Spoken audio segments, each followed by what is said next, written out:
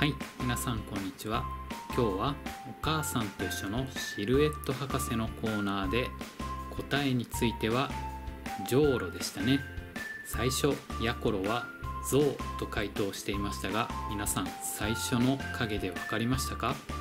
今回のは私は1回目ので分かりましたね。ただ子供たちには1回目で分かるのは難しかったんじゃないかなと思いました。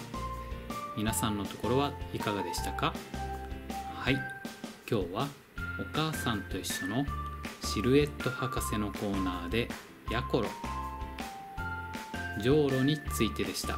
次の動画を楽しみにしていてくださいね。